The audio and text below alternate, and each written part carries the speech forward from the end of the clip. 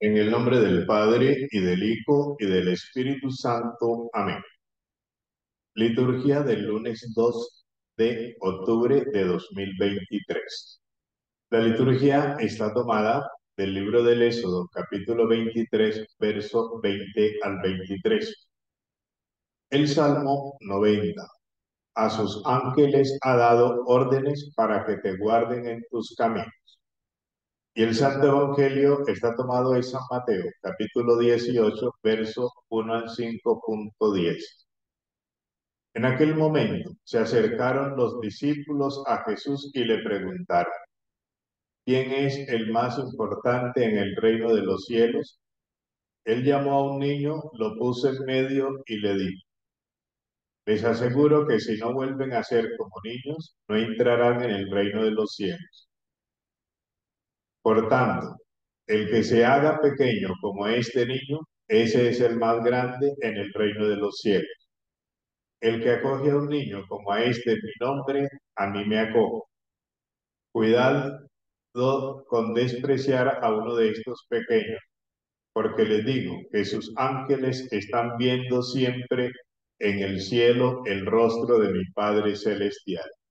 Palabra del Señor. Gloria a ti, Señor Jesús.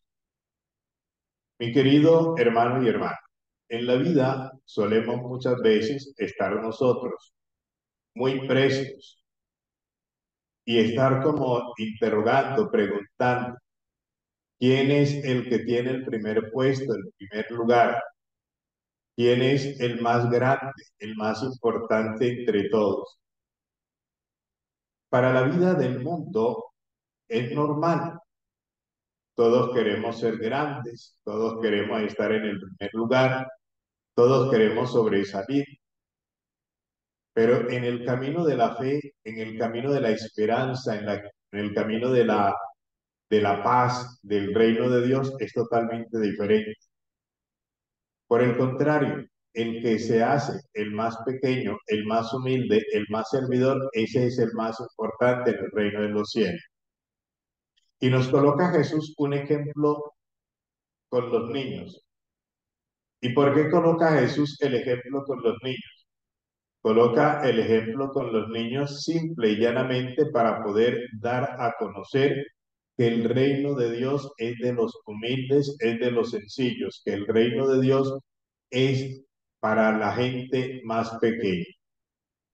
Es decir, no lo, no lo pequeñez en estatura, se refiere a la pequeñez de humildad, ¿sí? En la pequeñez de sencillez, de servicio. Para ellos es el reino de los cielos. Que nosotros sepamos trabajar también por buscar y alcanzar ese reino de los cielos, ese reino de Dios, donde quiera que estemos, donde quiera que vayamos. Para que así el ejemplo que el Señor nos coloca en el día de hoy por medio de su palabra con estos niños para que nosotros seamos con él, como ellos, que no hay odio, no hay rencor, no hay venganza, no hay discriminación. Para los niños todos somos iguales. Se presenta, o sea, si llegara a presentar discriminación es porque los adultos, los mayores, han infundido esa discriminación, pero de por naturaleza del ser humano de esas criaturas no hay discriminación, no hay venganza. Para ellos todo es igual, ellos tienen un mundo totalmente diferente. Y por eso esa diferencia, ese mundo diferente, es el que nos debe caracterizar a todos y cada uno de nosotros para poder estar siempre junto a Él. Hoy nos presenta la Iglesia los santos ángeles custodios en la memoria que, celebramos hoy. En la historia de la salvación, Dios encomienda a los ángeles la tarea de proteger a los patriarcas, a sus siervos y a todo el pueblo elegido. El apóstol Pedro en prisión es liberado por un ángel. Jesús, en defensa de los pequeños, dice que sus ángeles son y ven siempre el rostro del Padre que está en los cielos. Los ángeles son figuras celestes, presentes en el universo religioso y cultural de la Sagrada Escritura, así como en muchas regiones antiguas, son representados casi siempre como seres alados, como fuerza mediadora entre Dios y la tierra. En el lenguaje bíblico, el término indica una persona enviada para cumplir un encargo, una tarea, una misión. En griego, la palabra ángelos significa mensajero y es precisamente con este significado que la palabra aparece 175 veces en el Nuevo Testamento.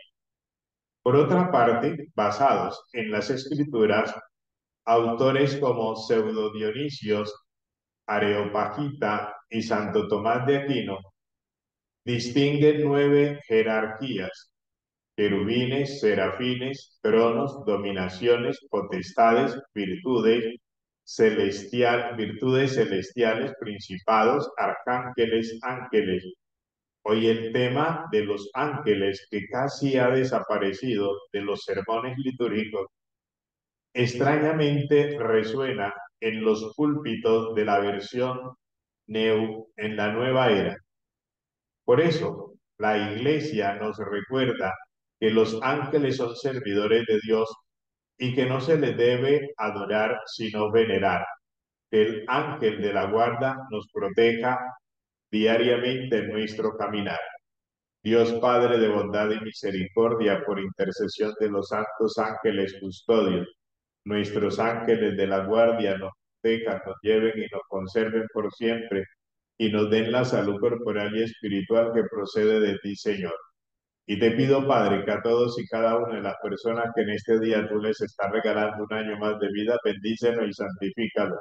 Y a los que hemos participado de esta sagrada liturgia matinal, despertar con Dios, despiértanos con tu santa bendición en el nombre del Padre y del Hijo y del Espíritu Santo. Amén. Feliz día para todos, un abrazo grande, bendiciones.